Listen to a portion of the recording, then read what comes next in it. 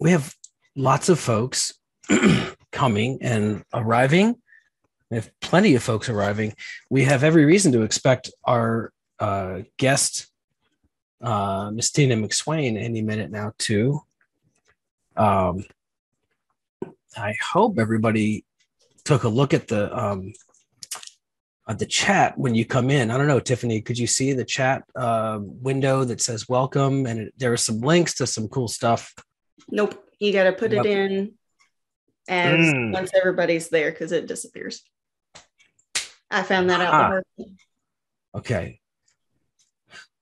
Well, it's irrelevant now because now you're really on the internet. And that was only like a, oh, Mickey says they can see it. Thank you. Well, I, I guess it just doesn't like me. I'm glad everybody else can. It's okay if I don't. I We was were, thinking uh, about this. I was thinking about this this afternoon. So everybody's like, "Oh yeah, you know, Christmas in July." I'm like, "Well, we've got Halloween in May." Right? Correct. I've been, yeah, it, it's hard to, I'm trying to square that with my seasonal awareness. I love it.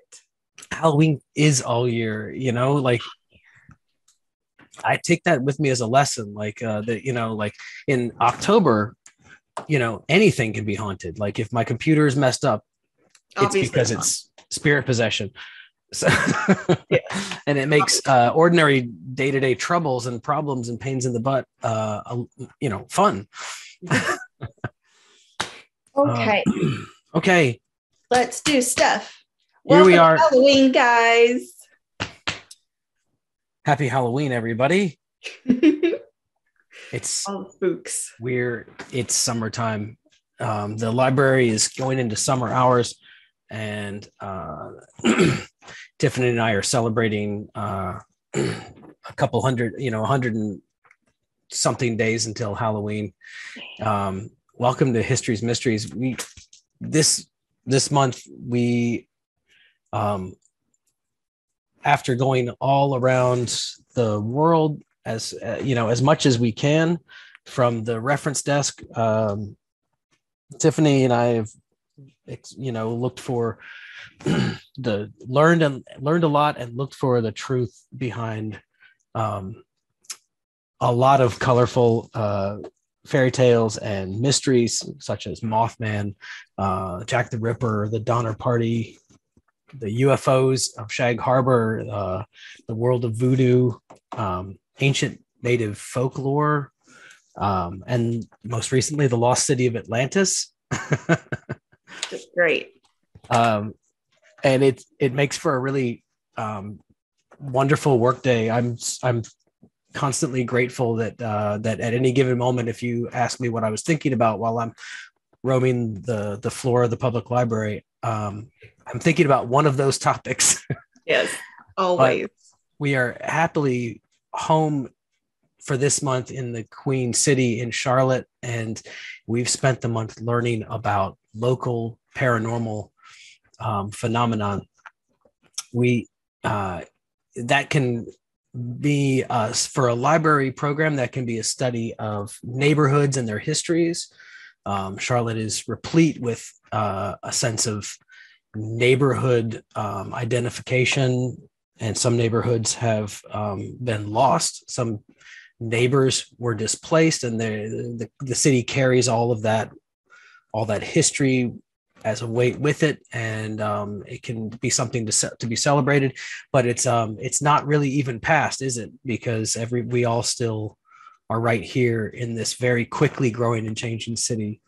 Um, so the way to study paranormal uh, experiences here in Charlotte is to ask around. And we did. And we were lucky enough to be uh, contacted by um, our wonderful guest presenter this evening, Miss Tina McSwain. She is the founder and executive director of Charlotte Area Paranormal Society. And it's very easy to find references to Miss uh, Tina's work over the last 20 years. Um, and we hope that she will be able to tell us about it herself um, as, as soon as she joins us. And um, we're going to just try to spend the hour holding space for uh, a local luminary to share with us a lot of personal and professional experiences that I can't wait to hear about. Um, let's see. So I am recording this program um, for your housekeeping information. For your future viewing pleasure. Right. Uh, and uh, if you have a, I really like that all of these are actual streets in Charlotte. Yeah, it's Charlotte's not that big. No. um, speaking of that, it's nice to have a program that is entirely about places that we would all recognize if we hear about them or see them. And um, if you if you have a story of your own, please we I hope you'll um, unmute your uh, your Zoom uh, and tell us all about it. I hope Miss McSwain will shed some light on anything, but we would love to hear stories. Every yeah. single program, we Tiffany and I always say, "Isn't it a shame we we are the ones that have to familiarize ourselves with this stuff because there's got to be somebody who knows uh, a lot coming into it." And in this case, we're lucky enough to have somebody like that. But um, if anybody out there has a good story to tell, I think the last thing I checked was that something between 40 and 50 of Americans believe in ghosts, but I think the number is a lot higher and it probably fluctuates depending on whether you have a, yeah. uh, whether a positive or a, not a positive or negative experience. Right is all of our friends that join us that are not in the state, you can come to Charlotte and now you can be like, oh look, there's ghosts over there. And it's great. Mason found some really cool stories. He was telling me some on the desk. It was great. Yeah. Um, and then you go uptown and you realize uptown Charlotte is uh, a, a, good walking city, and it's an easy city to uh, to ask your way around. And I went uptown just to explore the other night, and there were three ghost tours happening, and um, the more you look at what is written and uh, and told about ghosts in Charlotte, the more um, the more you realize they're all right there in front of you within uh, a block or two. So, with that said, I do have I have collected uh, a good handful of Charlotte's uh, most well-known locations for ghosts and the histories of the buildings and it's fascinating. And it's really cool once in a while you find out you realize that the place you're researching and the ghost story you're the haunting that you're reading about has actually been investigated by someone that you know. Um, here we are uptown uh, over top of walking charlotte. And beneath, this we see you know underneath these uh, these beautiful skyscrapers we know there's founders hall and the charlotte theater the dunhill hotel the original um, the the still standing main library uh, discovery place let's see there's some very old churches, hallowed and and full of stories. There's uh, Rira's Pub, that's full of stories. Um, let's without waiting too much longer for uh, Miss McSwain to join us. Let's look at some of these uh, some of these ghost stories.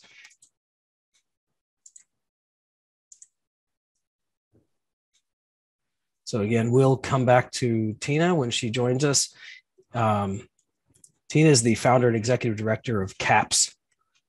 And uh, among the locations that she's investigated, uh, we're going to go to a few of them. Let's travel over to the number four fire station. fire station number four is um, one of the oldest and and historic locations. It's on the Charlotte uh, Historic Landmarks Commission, Um, and it's fascinating to read about the history of local fire stations in Charlotte. There's uh, there's actually a retired UNCC professor who teaches a whole course on the stories behind them. But um, the original fire departments, the original volunteer firefighters in Charlotte were um, were uh, notorious for you know exhibiting some of the worst uh, qualities of um, male behavior. You know, they would frequently fight with each other instead of putting out the the fire. Um, some of the volunteer firefighters companies, uh, some, one of them, a few of them had they had really colorful names. Um, in, eight, in 1865, uh, three were operating in Charlotte. Uh, there was the Hornet Steam Engine, which was a volunteer company, and uh, well, the Hornet Steam Engine and Hose Company, uh, um, and then the Independent Hook and Ladder Company. These were all volunteer organizations. Like, so imagine your friends and neighbors um, uh, posting up to uh, to go downtown and, and fight a, a, fire and running into the other guys. And mm-hmm. it sounds like you know more of a spectacle than um, than a public service. Like when the Domino's and the Pizza Hut guys like come face to face. Like yeah, uh, one of the one one of the fire one of the the uh, the third that I wanted to mention, the volunteer firefighting company was actually um, recognized above the others for bravery and for service, and it was uh, Neptune's Hand Engine Company, which uh, was an African American um, brigade of volunteer firefighters, and uh, that's them. You can find articles about these uh, about these um, volunteer companies. Uh, they they they played baseball when they weren't fighting fires. The Charlotte Observer is full of really interesting articles going way back, and you can get to it at our website. Um, but uh, if you've seen Fire Station Number Four, this is it right now, and it's in the Historic Landmarks Commission as a uh, as a museum, and occasionally it's been uh, option to be a restaurant, but it's a beautiful historic building. And fire station number four is reputed to be haunted by a ghost who actually has a name and a history. Um, the name of the ghost that haunts fire station number four is Mr. Pruitt Black. And there's a newspaper article that I'm showing you. If you can see it, um, hope everybody can still see this because yeah, it was really fun to find this in our library's digital archives of Charlotte Observer. Um, Mr. Pruitt Black uh, and his um, and his firefighter colleagues were responding to a false alarm, and he fell down the pole and um, died th- shortly thereafter. Um, he's also in the Charlotte Observer previously for um, for being a big home run hitter uh, in the firefighter uh, baseball team.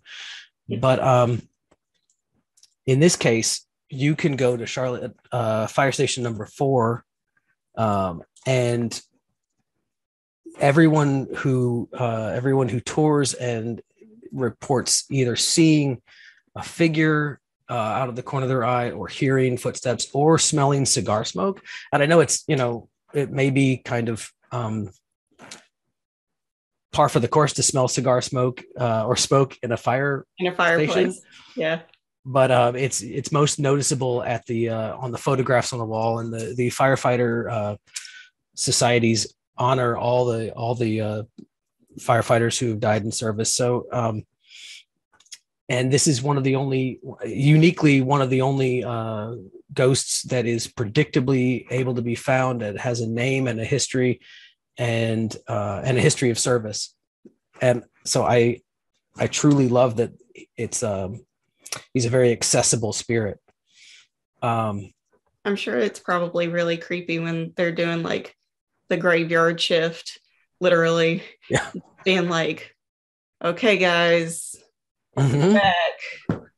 Firefighter station number four. Station number four was also noticeable, uh, notable in recent news for um, being uh, part of the FBI scheme to um, to catch um, former Mayor Patrick Cannon um, in a in a bid to turn it into a restaurant. So it was it was a prop. It was a um, a MacGuffin in the FBI plot to capture Mayor Patrick Cannon in the act. Um, oh my gosh! share stories. The FBI. Um, now here we are down the street.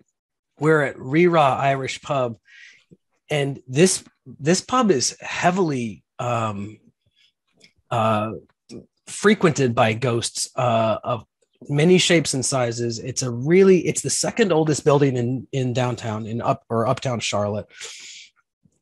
Um, and a lot of the interior dressing for this pub was brought was brought from Ireland, including uh, the Victorian era bar. If anyone's been to Rira's or Rira, um, you're you're sitting in the middle of a lot of history, uh, imported, possibly imported with all the um, relevant uh, spiritual.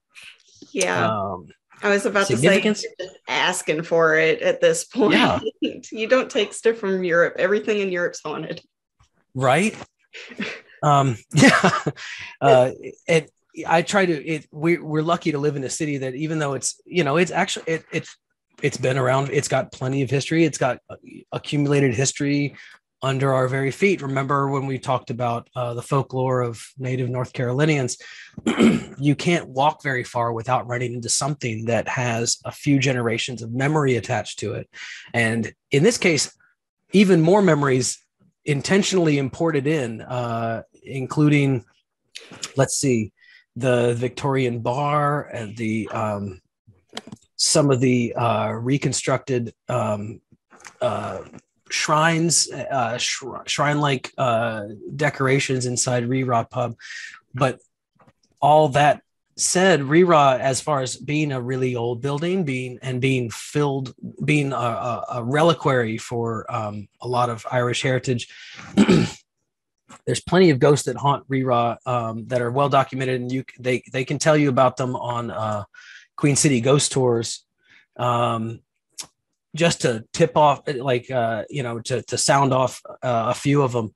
There's people have reported seeing these are regular. If it was just a one off, it wouldn't mean anything. But these are regular uh, hauntings. There's a a man in a 1920s uniform with white gloves and a pillbox cap.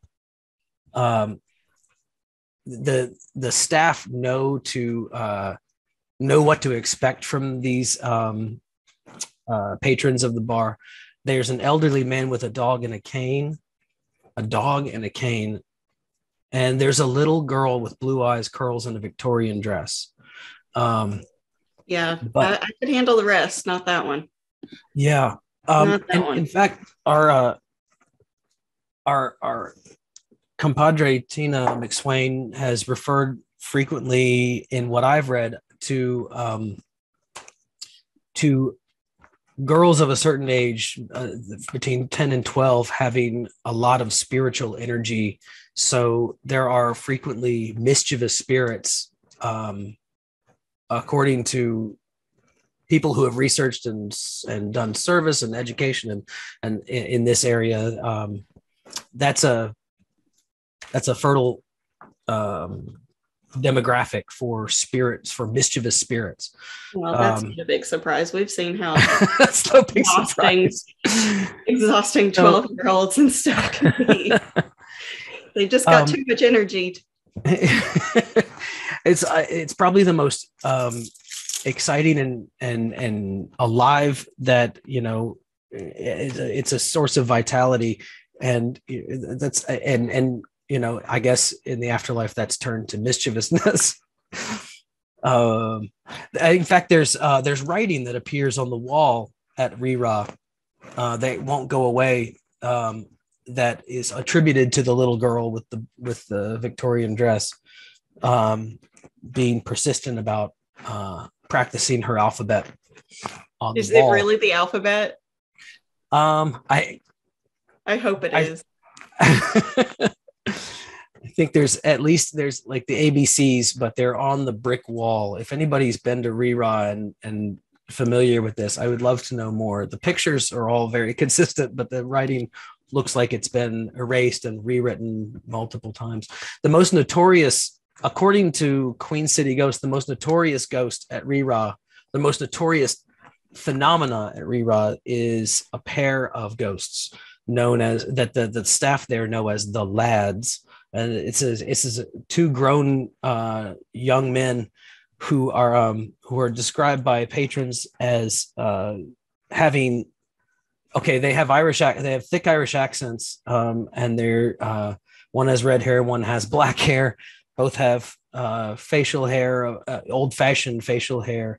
And um, and really strong accents. And uh, on queen city ghosts blog they talk about um, a customer a living customer sharing the bar with the two of them until he realized that they were both uh, they were they were fully functioning bar uh, bar flies, except that they had um, suffered grievous injuries.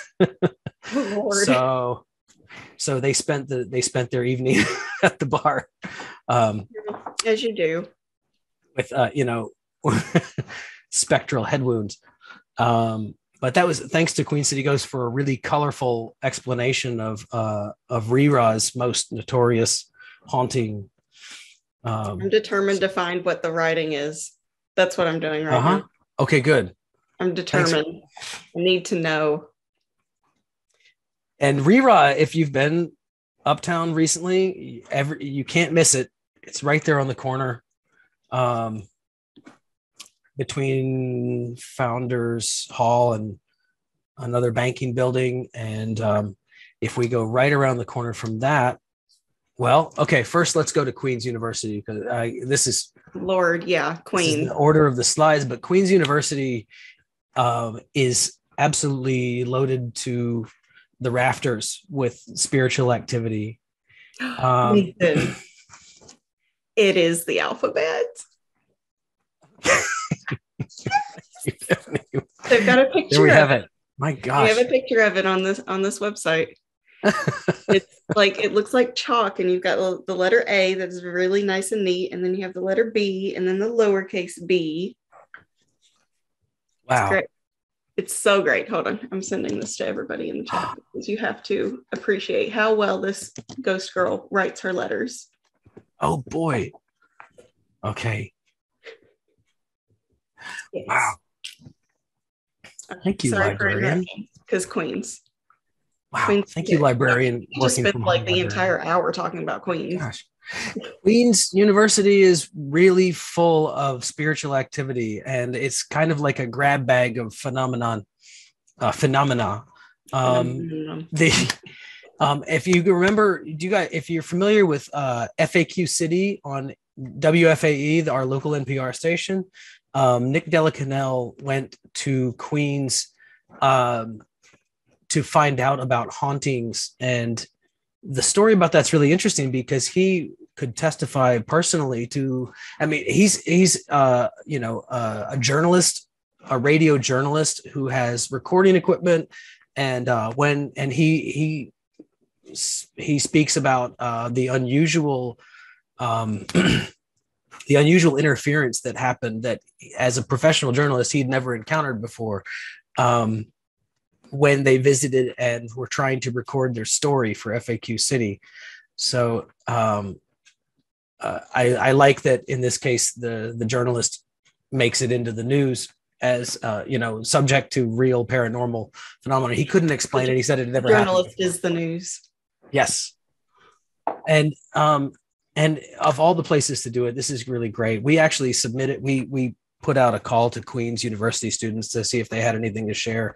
And i did find some uh, some uh, some comments on on local paranormal blogs by Queens University students that are um, that sound very um, pragmatic and non-dramatic, but uh, you know, in from the source, but also describe some really strange events.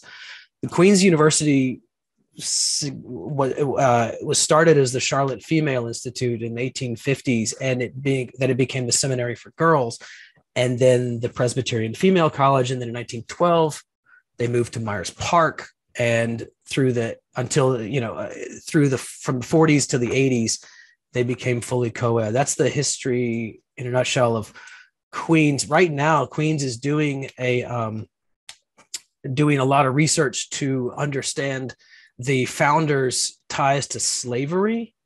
Um, and there's an entire set of findings that they released. You can read it on their website. There's a PDF that that finds, um, for instance, one of the um, the founders uh, and one of the halls was named after uh, Miss Margaret Anna Burwell, who was the wife of Reverend Robert Armistead Burwell in 1857, the first head of the Charlotte Female Institute, uh, and they found direct ties to slavery and, and, and to and also to specifically, you know, in detail unsavory.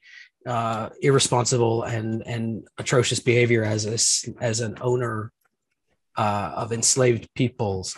Uh, so they they changed the name. They took down portraits. Uh, they um, they took a deep look and a reflective look at their history and are trying to shed some sunlight on all this and uh, end up on the right side of history. And they're doing a really good job of that. But um, Miss Burwell herself um, has never really stopped haunting um, Burwell Hall. In fact, a lot of students can claim that they um, that they have like a, a, you know a fairly familiar dialogue with Miss Burwell. If you come into the into the hall um, past a certain point in the evening, uh, when everybody's supposed to be back in their dorms asleep, uh, lights will uh, go on and off, and footsteps and voices can be heard, and um, you would do well. Like some of the students that I read um, stories for, uh, from just acknowledging that Mrs. Burwell would really like you to uh, close up behind, lock up behind yourself, and go back to your dorm. Um, so there's a well, as any responsible adult would expect.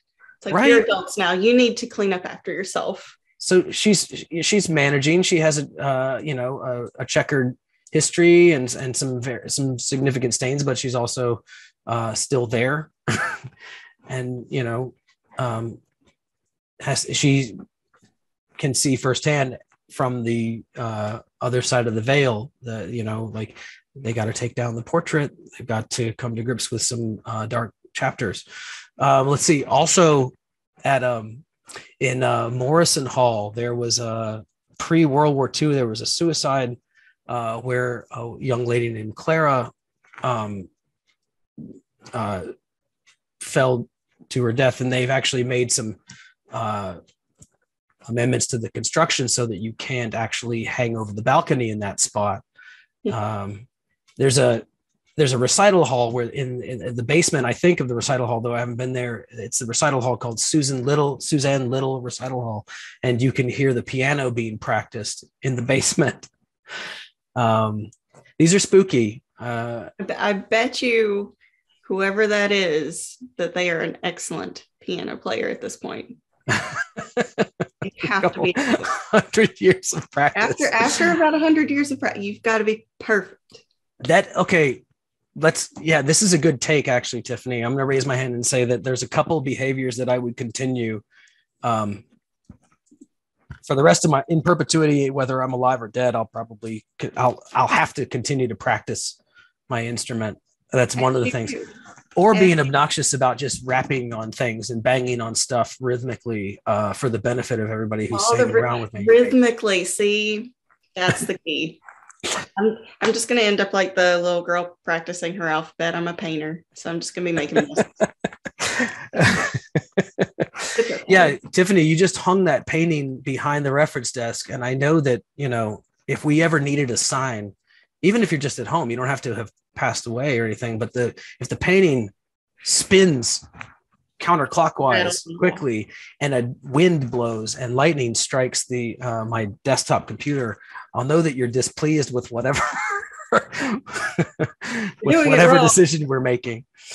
Um, so there's a let's see. There's so there's, many hauntings there. Yeah, there's so many. I haven't even uh, gotten through these. Like I'm halfway. Uh, the the haunting in Belk Residence Hall. This is interesting.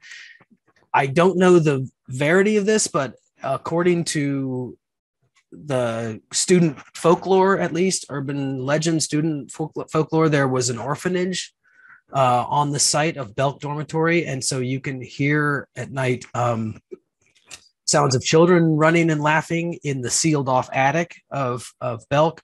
Um, sometimes stuffed animals and family photos are found rearranged or left out as if someone was playing with them because of an orphanage uh, that used to be on the property. You know, like kind of rude messing with other people's things. So that's yeah, you're asking for trouble. I was interested. The the was it long haul? What happened with that? Long haul. Um, there's uh, my understanding was that there's a um, that there was an, a hanging, maybe even a, a suicide. But the weird thing about that is that that is one of the most um, obvious, almost uh, um, overt, hard, difficult to ignore hauntings at Queens. Uh, I, I have it on good authority from multiple articles that if you're there on campus, you may actually see out of the corner of your eye, and it may be so real that people have called the police uh, to find that there's nothing there. But um, due that, diligence, that's. That just um, makes me think of the whole thing in was it New Orleans? Like there's a whole thing for taxi cab drivers and stuff because they get they get ghosts in their cars and then they drive and then they realize that it wasn't a person and then they're like wow. Like so, apparently that's a thing. Wow. So it's a professional um rule of thumb. Yep. Wow. make sure, make sure you are not helping the corporeal challenged get to one side of the city to the other a lot of what we're doing today we keep on thinking because we're in we're in children's services or tiffany's in teen services. I'm in adult services. And that implies that there's another service department after the adult services department. Because if you get to know your neighbors and your community well enough then you can recognize everybody's idiosyncrasies whether they are corporeal or corporeally challenged. Um, I, I'll still be here I'm gonna coin. I want to coin that term. We came up with that. Well, some of these really interesting ones. Actually, I think we came up with it for the Queens, wasn't it? We were in the middle of talking about some of the Queens things. Yeah, yeah. Um, services, uh, a, a department, a library department, public library for the corporeally challenged. Yes. Is when you see books floating through and restacking, you know that um, you re- you know who did it. you just need to leave the lights on. Maybe um, you know, yeah. maybe we can stay up overnight. Um, Ooh, oh gosh, I just read coffee. I read the next one. Oh, I know. Yeah. Oh, the next okay. one. It's super creepy. Yeah. Um, Overcash uh, and uh, yeah. uh, Albright Hall. I mean, I I remember a lot of drama in my college years, and you know, um, in uh, room 303 of Hall Brown, or or it's called Overcash Hall. Room 303 was talked about frequently, and there's a very disturbing story about um, waking up to find a uh, a student waking up to find uh, someone slumped over their desk with straggly red hair, and you tapped him on the shoulder, and it actually was the ghost because her real roommate was still sleeping in the bed. Um, and there's a you know, the haunting of Albright Hall. This is Albright, um, where uh, another um, another unfortunate uh, suicide and the name of the person appears. So yeah, the should, one, is the one that bothers me the most. Like that one dark. gave me chills. That one creeps me out. Yeah. Where are we going next? I don't know. Where are we going next? Um. Oh, if I hope, I hope we are walking. Right now, we're headed to the theater. We're going to Charlotte. We're going to Carolina Theater, and you want to talk about um, uh, professional um, rules of thumb that apply in a from a secular profession that apply to um, paranormal uh, statistically proven experiences. Carolina Theater is really interesting. Um, and Carolina Theater is another uh, location that was actually explored and uh, documented by um, by our Carolina, uh, Charlotte area paranormal society, Tina McSwain. Um, the Carolina Theater may look something like this right now. It's uptown, right across from the main library opening uh, entrance, and it's been in renovation for a long time, under renovation. But it has a great history of um, a golden age of um, live shows and theater. It was opened in uh, 1927, and uh, it saw history being made on stage. Elvis Presley was there. Um, it saw desegregation of the theater audience, which is um, important. Important um, that it was open and in in its golden age to see that. Uh, and then in 1978, it uh, it closed. 1978. The last film was Bruce Lee's uh, The Fist, and then weird one to stop with. I know, right? now it's history, and then um, so it's so it's historic, but it's it's been continually under renovation, and that means the only people that are really in there to see anything happening are construction workers.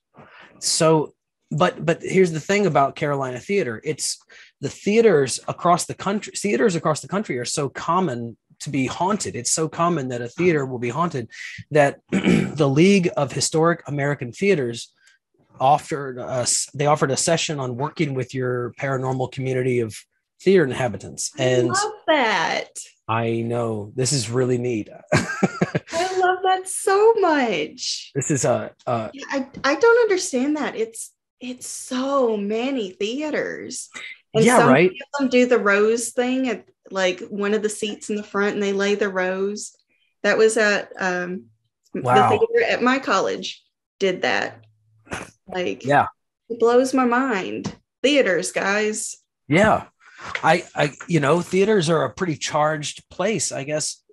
Um, and they're spooky. Um, architecturally, they're really spooky. True. So yeah. then the only thing spookier than a theater after you know the show is done and everybody's gone home for the night is probably like a a, a derelict theater that uh, that has um, you know that looks like uh, this. I mean, the pictures of the inside of the Carolina Theater are really yeah spooky.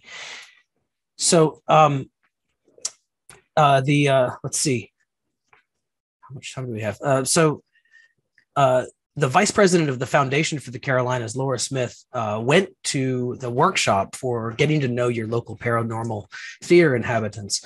Um, and then she, as a result of that, as a takeaway, she invited uh, Tina McSwain from Charlotte Area Paranormal to come and do a walkthrough of the Carolina Theater because workers and uh, construction and people in the building report freshly replaced light bulbs going out and um, uh, just in general a prevalent supernatural darkness is how it's described. Even you know the nooks and crannies of a well lit building still look um, uh, unshakably unnaturally dark all the time. But also you know a white apparition that you can see walk you can hear walking you and they attribute all of the light bulbs and all the strange sounds and the strange uh, behaviors in the building to an apparition named Fred, who can be that's seen sometimes. It's that's a right? name. Fred. Sometimes you can see Fred uh, standing on the balcony, um, staring at uh, workers who are renovating. But uh, Tina McSwain, Charlotte Area Paranormal, and Laura Smith, and three other people walked the building and they saw a different ghost in the balcony. Um, it was a lady with a voice that they could hear the lady talking about shoes. Um, and they decided her name was Clarissa. They all recorded this and they found that um, in the in the distant past, but here it is in the photograph. Uh, that's the Carolina Theater next door to a shoe company called Leadbetter Shoes. So um, and then uh, then that they went all the this party, including Charlotte area paranormal, went down to the basement, and uh, they went to explore the crawl space, the basement, the empty space underneath the stage of the theater, and it's all in an article that's that I read uh, at the edge of my seat. Um, the Carol Charlotte area paranormal said, "Did you see that?" And nobody was sure what she was talking about. And they repeated themselves, and they all looked together and saw a floating orb under the stage. Everyone saw it, and it's in a local news article from this um, experience. They all saw a floating orb of light as it passed through the basement, under the stage, through the doorway, and then it went through one of the people um, and and Laura Smith, who is the executive vice president of Foundation for the Carolinas at the time, was the one attesting to this in the articles that I read. So, um, and I think I would panic. I love that story. Yeah, I don't know. Especially it went through somebody. Oh my I've, goodness! Wow. Yeah, the person that it went through. I don't know what I would do. I've I don't have any frame of reference for this. Pass out, I guess. I don't know. Yeah, I, would. I, I would I would take yeah. Micah's. I would take your husband's way out and just zonk. Just uh, go to a happy place. Being underneath, yeah. I'm, oh I'm already anxious in theater because I'm worried I have the to go shoe on. thing makes more sense now. Yeah. That makes much more sense because I was like, that's a weird thing to be talking about as a ghost in a balcony in a theater shoes. that makes sense now. And I, personally, I think they were a little rude calling her Clarissa. That's a very yeah. stereotypical shoes girl name. Could have picked something like Anne. I want to know how they picked Fred. I wonder. You're on fire tonight. I don't. I really, yeah. It's one of those. Yeah. Oh, and now we could ask. Google will tell me.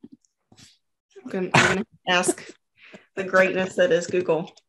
Why did they name it Fred? Why name? Why Fred?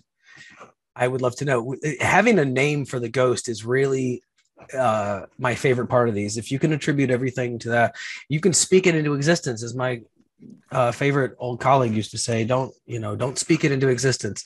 If they're going to come, let them come. But you know, if you start talking about them, they will show up." Um, this place, the bootlegger house, uh, speaks to um, a chapter in Charlotte history that is um, getting a lot of much due attention, but not as not not not necessarily reparations. Um, the bootlegger house was a property in Little Brooklyn, which was primarily an African American, successful uh, central Charlotte neighborhood. Um, and uh, the house itself was um, used to hide liquor during Prohibition. There's a there's a secret door where uh, you where you're supposed to hide all that stuff. Um, in the 70s, Brooklyn was torn down, and all of its uh, residents and the history of the neighborhood um, displaced, tarnished forever. And we, I have an entire history of historic Charlotte neighborhoods, especially Brooklyn, um, which has a, a vibrant community recognizing this history and the place in Charlotte that it deserves. Um, again, these people are um, uh, our neighbors who have a legacy and a story to tell, and it's it's a community we should we should understand it, embrace it, and uh, it's being revitalized. But before that happened in the 70s, when these um, vibrant, thriving communities were being torn down, this house was moved through Charlotte, uh, was bought and moved through Charlotte um, to its current um, location in the fourth ward.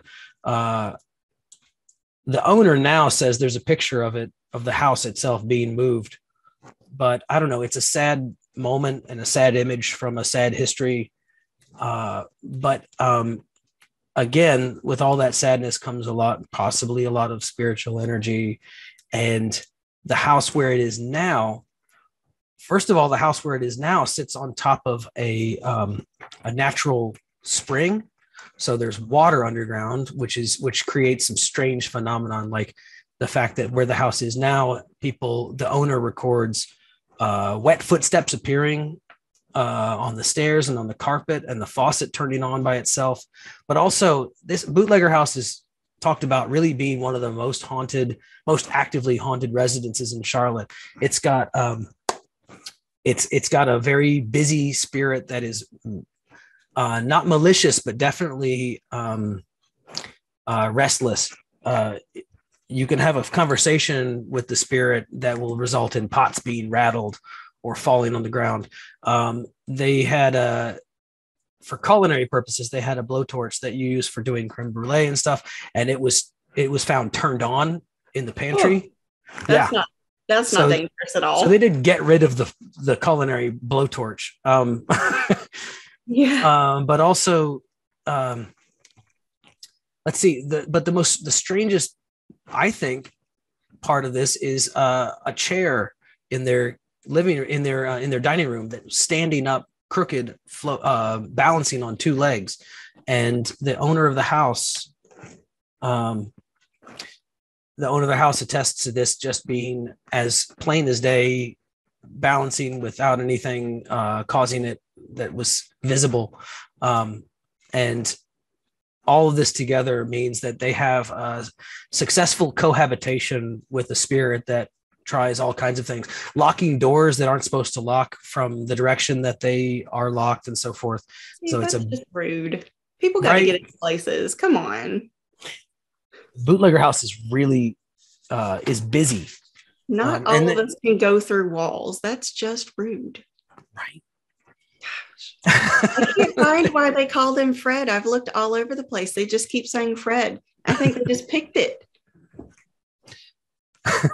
why? That's going to bother me forever. If I just, if I throughout the week figure it out, I will message all of you guys to tell you why they called him Fred. This is going to be my mission for the rest of the week. I'm going to find it. Here's the bootlegger house kitchen. You can sit, you can stand this in this kitchen nice and kitchen. have conversation. So this is uh this is the house on the corner. You, you may recognize it.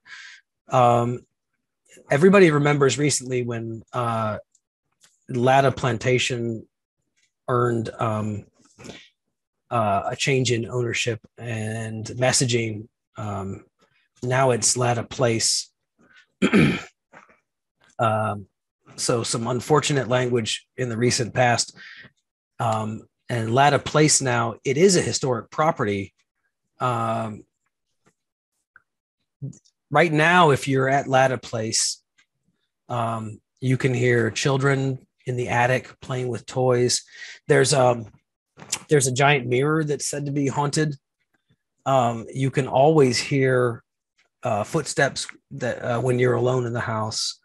Um, this is a place where they do reenactments and and so forth. So it's it's picturesque, but it's very uh, it's a very it's, charged place. I'm not surprised. Yeah, it's got the burden of a lot of uh, a lot of dark history.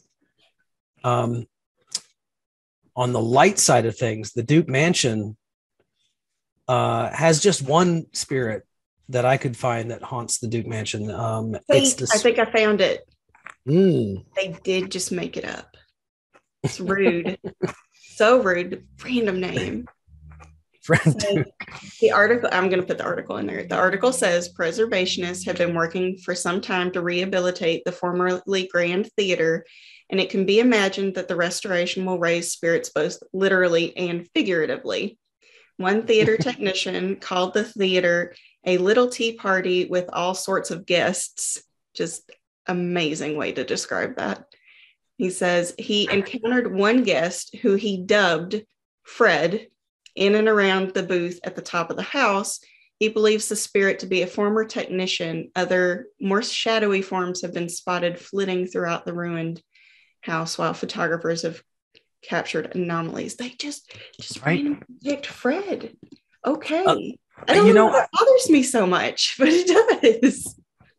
Thanks for finding that. You know, maybe as a takeaway for this program, we can all agree. I remember as a kid reading a book about ghosts that what you're supposed to do when you encounter a ghost is you're supposed to say, um, in the name of the uh, Father, Son, Holy Spirit, uh, who are you and why are you here? and they're supposed to answer you if they if you talk to them that way. Um, that doesn't go over so well with just like uh, customers coming in the library or you know meeting people on the street. Who are you and what are you doing? or if you're in checkout, if you're in a checkout at a grocery store, you don't need to do that.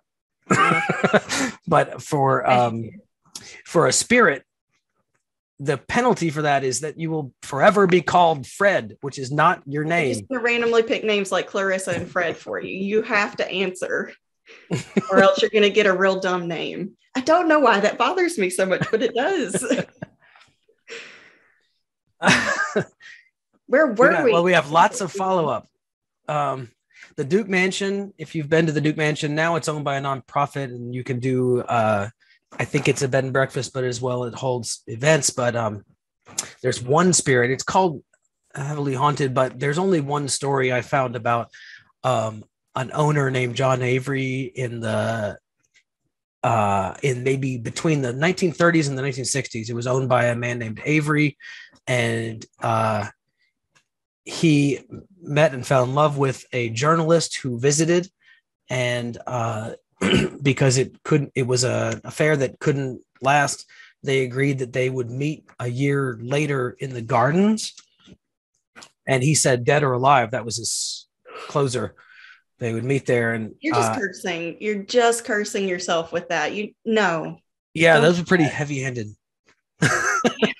so um and that that actually took place but he was on the um on the down end of that bargain. So she did arrive uh, a year later. She brought a friend and she met john avery dressed he was dressed all in black and he walked straight through them saying the words dead or alive to uh, hey two ghosts about that? on this list i'm not i can't i can't with. We've got two. That Here, nope. Every time i tell a story that's you know in questionable taste this way we're getting closer and closer to halloween but um there's we have a long way to go. Mm. um there's the garden of the duke mansion um, the Dunhill Hotel is another haunt with a name. Um, the Dunhill Hotel, if you've been uptown, you can see this beautiful uh, front. Uh, the Asbury's restaurant is next to it. It's there on the corner. It has a very imposing, classy look to it now. I like this photograph a lot. Um, the Dunhill uh, was opened in uh, 1929 as Mayfield Manor um, by architect uh, or designed by architect Louis Asbury, who the restaurant downstairs is named for now. Um, yeah, and the Dunhill is haunted by a ghost named Dusty. The Dunhill is also reputed to be haunted by any number of businessmen who um, uh, decided to take the uh, to to um, to uh, throw themselves off the roof during the depression. Mm, so yeah. you can spend a night.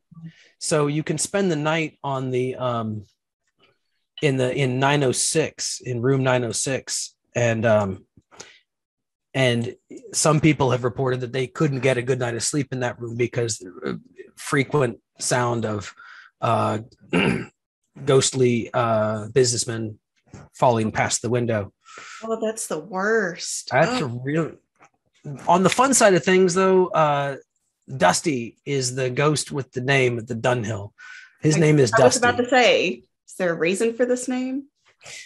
So in the 80s, they found a skeleton, definitely a skull, definitely most of a skeleton in the basement of the Dunhill near the elevator shaft.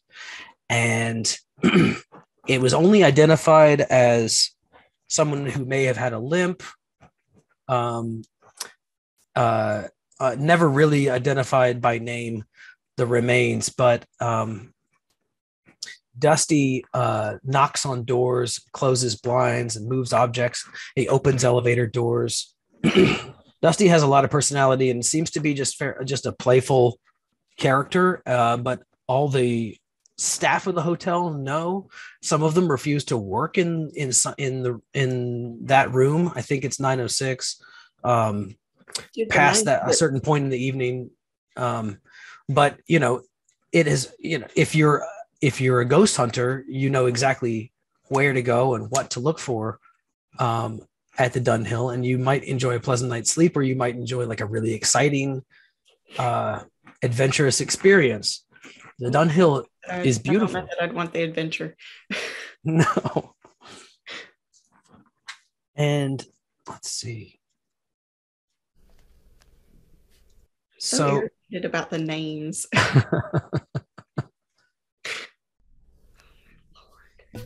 really, really, So- Dusty. Where did they find this? Where did they find it? Was it in a closet? Because if it was in a broom closet, I'm gonna be mad. So there's lots more you can see and do in Charlotte uh, if you're on um, the hunt for paranormal. I I promise you, if you go uptown and walk at any point in the evening on a beautiful night like this, um, you'll see at least a couple ghost tours, and somebody who makes their career in service educating uh, and ameliorating these paranormal problems can tell you a lot of stories that um, that we don't have, but they're stories about your own neighbors, Charlotte neighbors, alive and dead in the Queen City. Tiffany, what are we doing next month? Oh my gosh! Next month, um, okay, we're doing kidnapped by fairies, and it's not what you think because all of these stories, like as most people know, you've got the story, and then you've got all the subtext. So we're talk about all of the subtext that you don't think of when you're like, oh, fairy tales, okay. Kidnapped oh. for Abducted reason, by fairies. abducted by them. Oh, I found out where they found Dusty. It was sad. He was at the bottom of an hmm. elevator shaft. Like, yeah, that's so sad. yeah, yeah. And they talk about uh, when you're staying there as a guest, you might feel a tingling at the base of your neck, um, and it's Dusty admiring your cranium. so next month we get to talk about the other veil, uh, the uh, parting of the other veil between this world and the fairy world, Yes. and um, we'll have. I think for that we should have some kind of a bestiary where we talk about how to know and identify all these creatures and and how to stay away from them. right? Yes. Oh my gosh. Like, okay. Both of these are right up my alley with the Halloween thing because no, if you don't know me, Halloween is my jam. That is where I culminate all of my excitement into the year. And it's hilarious because I hate scary stories and scary movies. So doing this one was really funny. And some of my reactions was because like it's like Mason, I've got to learn about this with the audience. I can't can't be sleeping with this just yet. so I've been I've been doing the opposite with him being like, "Oh my gosh, so there's a story where the people got kidnapped and this is what that meant and they didn't really get kidnapped. It was really this." I've got I'm like the guy with like all of the, the strings and stuff in the background, like telling people this. So yeah, Yeah. I'm so excited about next month, y'all. Like, like I said, me too. Like I said at the beginning of the program, I love uh, that this defines my month working at the library. If you see me here, if you see Tiffany or me here, and you ask what we're thinking about, chances are we're thinking about this month. We'll be thinking about uh, the fairies. we'll be thinking about uh, the spirit world. so the most- we've had a question about how to sign up for the next one, and I'm gonna put a link in the chat once I find it. If That's I a great idea. and spell it correctly, because you know history histories is not spelled with an L.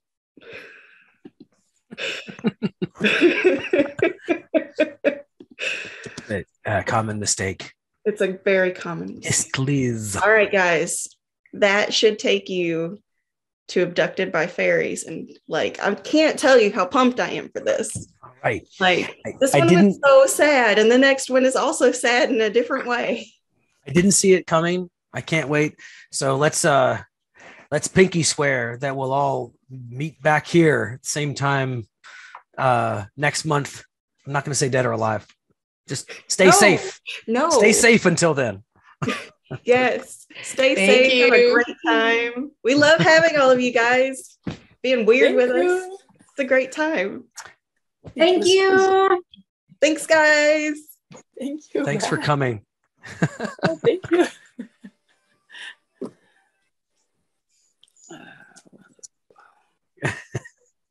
Alors.